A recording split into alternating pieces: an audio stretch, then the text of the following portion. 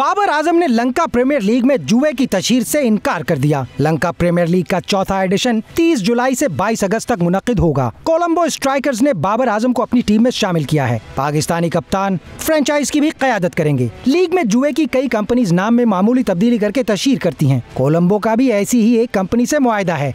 अलबत्ता बाबर आज़म ने इसका लोगो शर्ट पर लगाने ऐसी वाजे अल्फाज में इनकार कर दिया। जराये का कहना है की स्टार बैटर ने इस बात को अपने मुआदे का भी हिस्सा बनाया है और फ्रेंचाइज ने भी इनकी ख्वाहिश का एहतराम करने का फैसला कर लिया है। पाकिस्तान टीम को रवा माह श्रीलंका में दो टेस्ट की सीरीज़ खेलना है। उसके बाद अफ़गानिस्तान से आइंदा माह तीन वनडे इंटरनेशनल मैचेस होंगे। इसी वजह से बाबर लंका प्रीमियर लीग के लिए मुकम्मल तौर पर दस्तयाब नहीं होंगे। वो कौमी जिम्मेदारियों से फरागत पर ही श्रीलंका जाएँगे। याद रहे कि पी एस एल आठ के दौरान मोहम्मद रिजवान ने मुल्तान सुल्तान की शर्ट पर सेरोगेट एडवर्टाइजिंग कंपनी का लोगो लगाने से इनकार कर दिया था। उन्होंने स्टिकर से लोगो छुपाकर मैच में हिस्सा लिया। कई दीगर खिलाड़ियों ने भी नाखुशी ज़ाहिर की, लेकिन इन्हें फ्रेंचाइज ने मना लिया। था। बाबर और रिजवान हाल ही में फरीजा हज की अदायगी के बाद वतन वापस आए हैं। दोनों अब कराची में शेड्यूल कौमी तरबियती कैंप में शरीक होंगे।